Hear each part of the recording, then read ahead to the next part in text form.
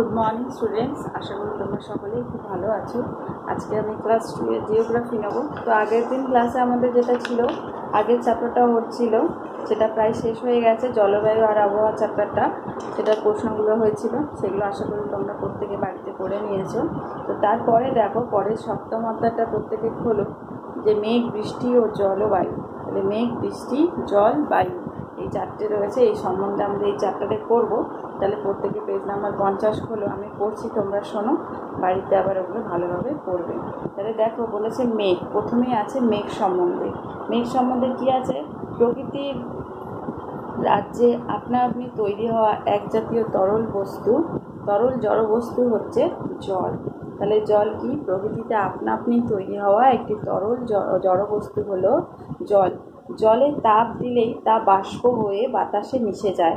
একটি পাত্রে জল রাখলে আগুনে গরম করলে দেখা যাবে জল থেকে ধোঁয়া বের হচ্ছে। ওই ধোঁয়ার মধ্যে আছে ক্ষুদ্র ক্ষুদ্র জলকণা। এই জ, এই জলকণাগুলিকেই জলীয় বাষ্প বলে। তাহলে কি তোমরা লক্ষ্য করবে যখন কোনো জল আমরা গ্যাসে গরম করতে বসাই, সেই গরম যখন হয়ে যায়, তার উপর থেকে দেখবে একটা হালকা ধোঁয়া মতো ওঠে। সেই ধোঁয়াটাই হচ্ছে জলীয় বাষ্প। তা তাতে কি আছে? তাতে আছে সেই জলীয় বাষ্পটা কি? সেটা হলো জলের ক্ষুদ্র ক্ষুদ্র কণা। তো সেটাই হলো জলীয় বাষ্প। এরপরে বলেছে সূর্য এমনি ঠিক একইভাবে সূর্যের তাপে বা আলোতে নদী, নালা, খাল, বিল, পুকুর ইত্যাদি জলাশয় থেকে জল জলীয় বাষ্প রূপে বের হয়ে বায়ুমণ্ডলে মিশে যায়। তাহলে ঠিক একইভাবে কি হয়? জলীয় দিনের বেলা সূর্যের আলোতে তাপে কি হয়? যে নদী, নালা, খাল, বিল, সমুদ্র আছে, তাদের জলটা গরম হয়ে আকাশে উঠে যায়। মানে জলীয় বাষ্প রূপে বায়ুমণ্ডলে মিশে যায়। সেগুলি আকাশে মেঘ হয়ে ভেসে বেড়ায়। তাহলে সেই জলীয় বাষ্পটাই উপরে গিয়ে কি হয়? মেঘ হয়ে যায়। বছরের বিভিন্ন ঋতুতে আকাশে নানা রঙের ও নানা বর্ণের মেঘ ভেসে বেড়াতে দেখি। তাহলে বিভিন্ন সময় যে বছরে বিভিন্ন ঋতু আসে, সেই হিসেবে আমরা মেঘটাকে দেখতে পারি। কোনো মেঘের রং সাদা, কোনো মেঘের রং কালো, আবার কোনো মেঘের রং ছাই রঙের। এই মেঘগুলি বিভিন্ন আকার ধারণ করে আকাশের বুকে ভেসে বেড়ায়। বর্ষাকালে সারা আকাশ জুড়ে কখনো কালো, কখনো ছাই মেঘ দেখতে পাওয়া যায়। শরৎকালে পেঁজা তুলোর মতো সাদা রঙের মেঘ দেখতে পাওয়া যায়। কখনো মেঘগুলি, কোনো মেঘগুলি ধীরে ধীরে চলে, আবার কোনো মেঘগুলি দ্রুত চলে। কোনো মেঘগুলি খুব বড় আকারের, আবার কোনো মেঘগুলি টুকরো টুকরো। তাহলে কি? বর দেখবে ঋতু অনুযায়ী গরমকালে আকাশ পরিষ্কার থেকে মেঘ ভালো দেখতে পারি সাদা। তেমনি শরৎকালেও পেঁজা তুলোর মতো এখন যেমন আকাশে দেখা যায়, মাঝে মধ্যেই মেঘ তোমরা লক্ষ্য করবে। আর বর্ষাকালের মেঘ প্রত্যেকেই খুব ভালোভাবে লক্ষ্য করেছে। একদম কালো হয়ে যায়, কখনো ছাই ছাই মেঘ হয়ে যায়, কখনো মেঘগুলো আস্তে আস্তে যায়, আবার যখন জোরে হাওয়া বা মেঘগুলো খুব দ্রুত চল পড়ে যায়। তাহলে এইভাবে মেঘ নির্ভর করছে, বাতাস, মেঘটা তোমরা বুঝতে পারছ কি? তারপরে দেখো, বলেছে বৃষ্টি।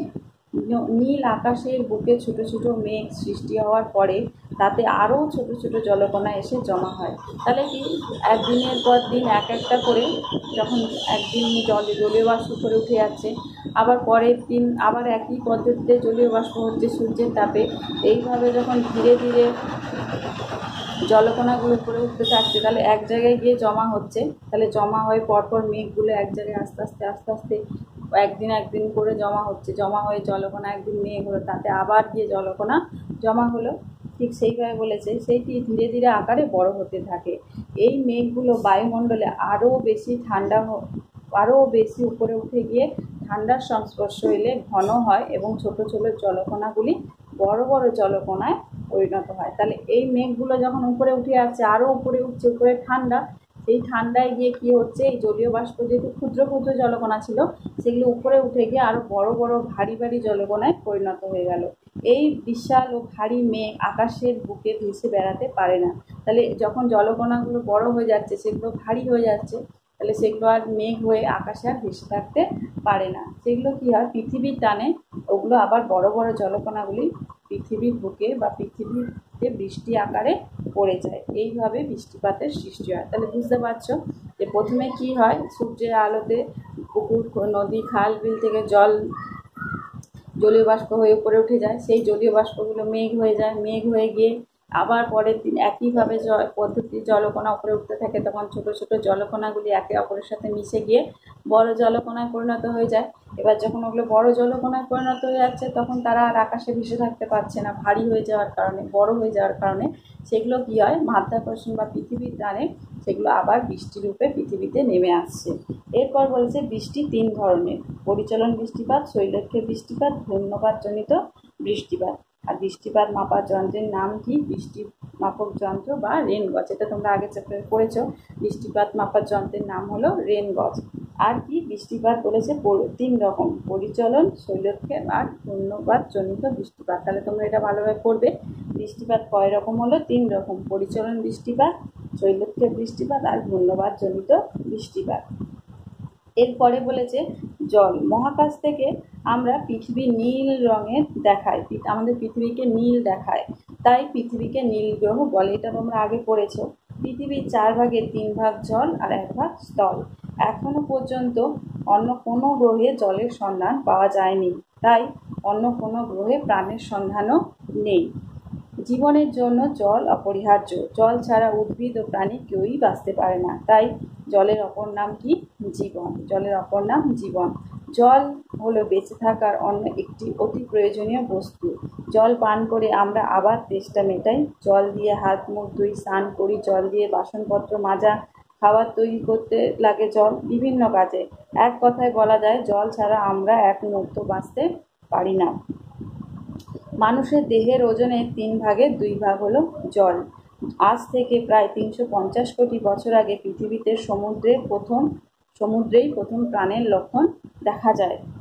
আর জলের উৎস। আকাশে ভেসে বেড়ানো মেঘ থেকেই যে বৃষ্টি হয়, পৃথিবীতে ঝরে পড়ে, সেই বৃষ্টি থেকেই আমরা জল পাই। এছাড়া নদী, নালা, পুকুর, সাগর থেকেও আমরা জল পাই।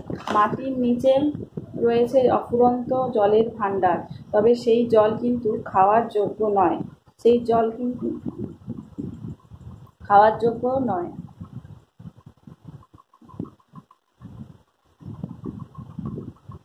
ও আচ্ছা বলছে, তবে সব জল কিন্তু খাওয়ার যোগ্য নয়।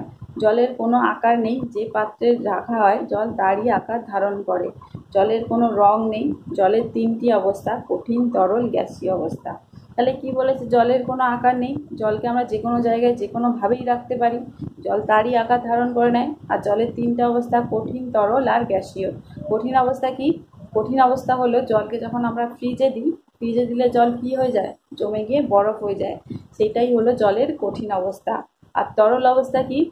তরল অবস্থার জল। আমরা যে পান করছি, আর গ্যাসীয় অবস্থা হলো জলীয় বাষ্প।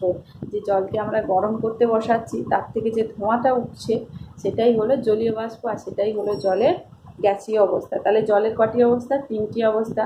আর তিনটে অবস্থা কোনটা কোনটা আমি তোমার বুঝিয়ে দিলাম। কঠিনটা হলো বরফ, তরল হলো জল, আর গ্যাসীয় হলো জলীয় বাষ্প। তোমাদের এতটাই আজকের ক্লাসে থাক পড়া থাকবে, তোমরা দাগ দিয়ে নাও, জলের তিনটি অবস্থা অবধি। তাহলে আমি তাহলে তোমরা একটা কথা বুঝতে পারছ? দেখো মেঘ, বৃষ্টি, জল, তিনটেই কিন্তু একে অপরের উপর নির্ভর মানে একটা চক্রের মতো তিনটেই ঘুরছে। প্রথমে জল থেকে মেঘ হচ্ছে, মেঘ থেকে বৃষ্টি হচ্ছে, বৃষ্টি থেকে আবার জল আসছে মানে এটা একটা চক্রের মতো ঘুরে চলেছে। আবার জল থেকে মেঘ হচ্ছে, মেঘ থেকে বৃষ্টি হচ্ছে, বৃষ্টি থেকে আবার জলে পরিণত হচ্ছে। তাহলে এটা হলো একটা কি? একে অপরের উপর নির্ভর করার পদ্ধতি। যে একে অপরের উপর ভরসা করে তাহলে জল থেকেই মেঘ হচ্ছে, মেঘ থেকেই বৃষ্টি হচ্ছে, বৃষ্টি থেকেই আবার জল আমরা পাচ্ছি। আর জলকে আমরা বিভিন্ন রকমভাবে কাজে লাগাতে পারি। আমাদের প্রতিটা কাজে প্রত্যেক দিন প্রত্যেক দিন সকাল থেকে উঠে রাতে শোয়া অবধি আমরা জলের ব্যবহার করি। খাওয়া থেকে শুরু করে রান্না করা, হাত মুখ ধোয়া, প্রত্যেকটা কাজে আমাদের জলের খুবই প্রয়োজন। তাহলে কি জল আমরা সহজে নষ্ট কিন্তু করা উচিত নয় জলকে? তাহলে আমরা সব জল কিন্তু পান করতে পারি না। আমরা কি নদীর জল খাব? নোংরা জল কিন্তু নদীর নোংরা জল আমরা খাব না। তাহলে কি আমরা যে জলটা খাই সেটা হলো মাটির নিচের জলটা আমরা খেয়ে থাকি। বৃষ্টির জলও খাওয়া যায়, সেটা অনেক দিন ভালোভাবে পরিশোধন করে তবেই সেটা খাওয়ার যোগ্য হয়। আর কি, আমরা কিন্তু যেখানে সেখানে নোংরা জলও খাওয়া উচিত নয়। তাহলে আজকে তোমাদের ক্লাসে এতটাই পড়া থাকবে। আর বেশি পড়ালাম না। এরপরে যেটা আছে, পরের দিনের ক্লাসে আমরা পড়ব। তাহলে মেঘ থেকে, মেঘ, বৃষ্টি, জল এতটাই পড়া থাকবে পেজ বাহান্ন অবধি। তাহলে আজকের ক্লাস এতটাই থাকল। ভালো থাকবে, বাড়িতে ভালোভাবে পড়াশোনা করো। Thank you